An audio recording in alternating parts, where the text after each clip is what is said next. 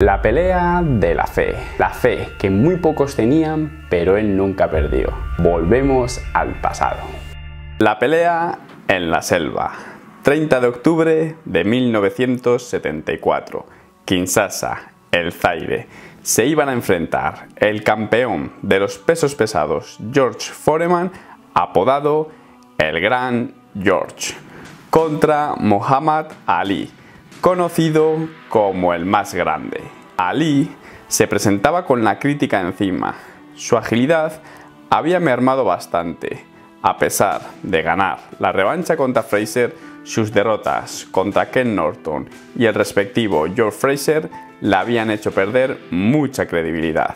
En cambio, Foreman se presentaba con todas las casas de apuestas a su favor, con un 40-0 37 victorias por knockout, con las últimas 8 peleas ganándolas por KO antes de terminar el segundo asalto, incluyendo el destrozo brutal que le hizo a Fraser. Los expertos del boxeo, las casas de apuestas, poca gente confiaba en las posibilidades de Ali, salvo Ali. Durante su estancia en el Zaire, Ali y su gran carisma no tardó en conquistar el corazón de la gente apoyándole incondicionalmente con el grito de Ali Bumaye, que significaba Ali mátalo.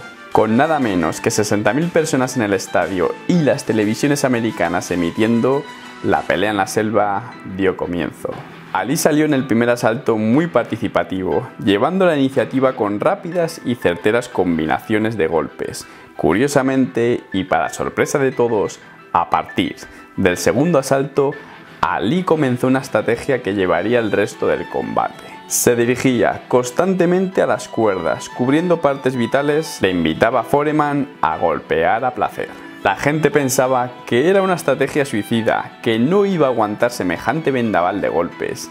El equipo técnico textualmente le dijo a Ali, sal de ahí que te va a matar. A lo que Ali les contestó, tranquilos, sé lo que hago. Ali se burlaba, incluso increpaba a Foreman con frases como pegas como una nena, George. ¿Esto es todo lo que sabes hacer, George? Los asaltos iban pasando. Foreman se iba desgastando, confiando quizás en que su terrible pegada tarde o temprano acabaría con Ali. A finales del octavo asalto, Foreman, exhausto, desgastado físicamente y psicológicamente por Ali, golpeaba muy mermado. Ali, más entero de lo que parecía, encadenó una combinación de golpes muy certeros, terminando con un directo de derechas que haría besar la lona a George Foreman.